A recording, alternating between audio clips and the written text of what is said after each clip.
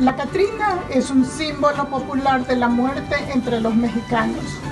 Es la protagonista alegre de los festivales, se enamora y toma selfies con el Catrín, protagoniza obras de teatro y danzas y se intelectualiza en los museos, recorriendo silenciosa y elegantemente ataviada los cementerios cubiertos de veladoras encendidas la noche de la vigilia.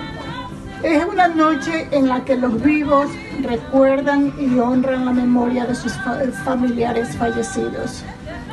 Ella se viste de gala durante la celebración del Día de los Muertos. Originalmente fue llamada la calavera garbancera, creada entre 1910 y 1913 por José Guadalupe Posadas como símbolo de rechazo a las clases pudientes de la época porfiriana y Diego Rivera la inmortalizó en su mural pintado en 1947 titulado Sueño de una tarde en la Alameda Central, bautizándola como la Catrina.